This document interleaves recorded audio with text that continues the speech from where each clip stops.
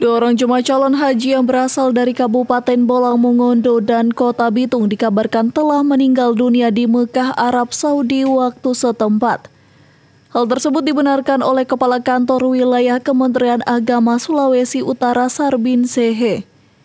Ia mengatakan sebelumnya kedua jemaah tersebut telah dirawat di rumah sakit di kota Mekah. Ini terkonfirmasi atau berdasarkan laporan yang kami terima dari petugas kloter 16 ada seorang jamaah yang telah meninggal dunia Enang, Enang Pepetungan dan kemudian pada kloter 18 eh, juga satu telah meninggal dan kedua eh, yang meninggal tadi dimakamkan di Makkah di Malang di sekitarnya.